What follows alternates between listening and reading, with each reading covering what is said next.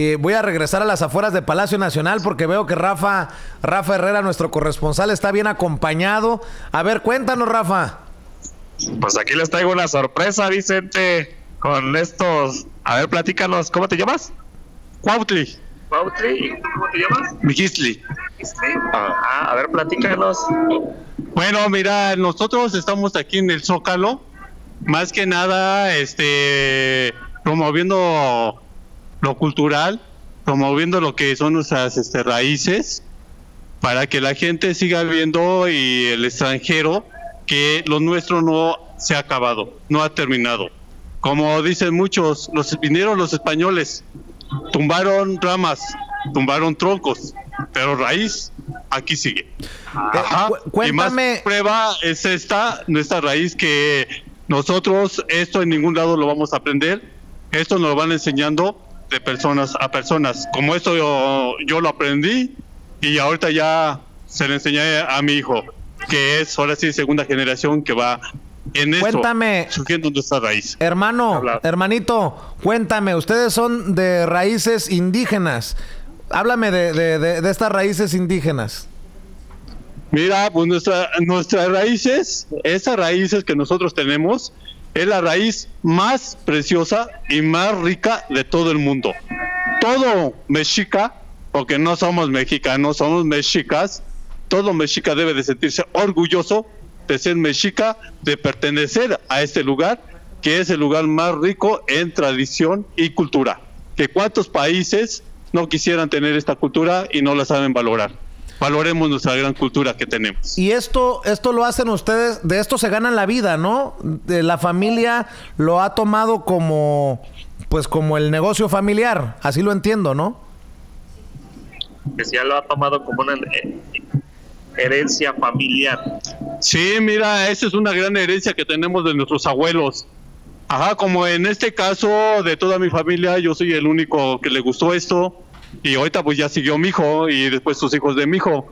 Pero a esta tradición viene de mucha gente que desde sus bisabuelos, sus tatarabuelos han sido, este, como dicen, danzantes, ¿no?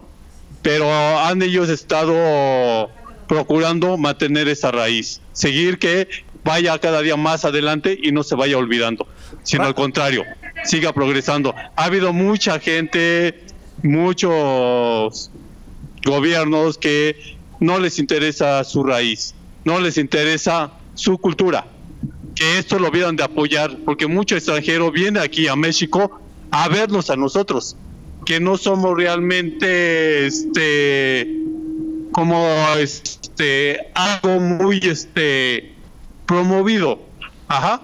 Rafa. Que aquí mucho extranjero viene al Zócalo especialmente a vernos a nosotros. Rafa, nosotros que nos expliquen, que nos expliquen su que nos expliquen su vestuario, que nos expliquen su representación. A ver tu vestuario, Ah, mira, yo estoy representando al guerrero Águila. Ajá, que fue un gran, es un, fue un gran guerrero de los mexicas, que pues es muy difícil llegar a ser un gran guerrero, ¿no? pero yo trato de representar a este gran guerrero, a nuestro gran guerrero Águila, nuestro guardián y protector.